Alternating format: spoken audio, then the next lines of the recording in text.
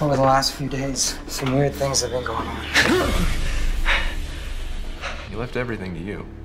The house, everything in it. Everybody say cheese.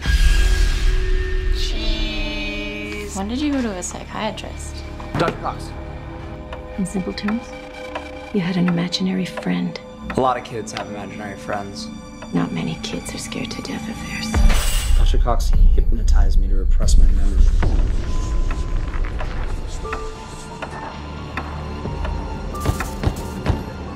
We didn't think it was real. Jordan, Jordan, come on, wake up, wake up, we gotta go.